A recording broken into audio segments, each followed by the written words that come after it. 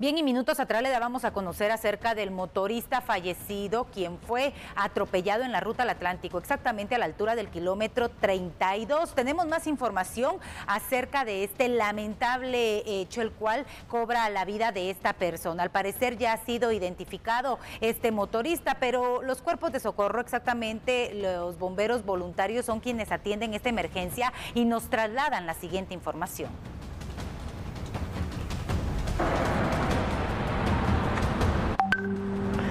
Muy buenos días. Elementos del 85 Compañía son destacados a lo que es el kilómetro 32 Ruta al Atlántico, en la cual se localiza una persona en la vía pública, la cual según testigos indicaron fue atropellada por un vehículo el cual se dio a la fuga, ignorándose los, los datos del vehículo.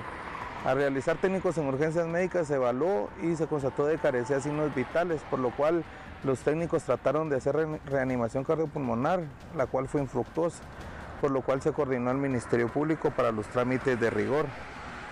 La persona se conducía en la motocicleta tipo Suzuki color gris, número de placa 631 CST y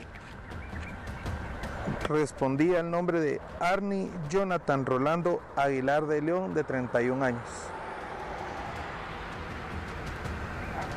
Ahí tienen entonces ustedes, ha sido identificada esta persona lamentable, el incidente cobró la vida en este caso del motorista, todo esto ocurrió en el kilómetro 32 de la ruta al Atlántico, jurisdicción de Aguacaliente, San Antonio, La Paz, El Progreso. Ustedes escuchaban entonces ya las declaraciones de uno de los cuerpos de socorro quien asistió a este lugar pudiendo constatar al llegar al mismo que la víctima ya no contaba con signos vitales.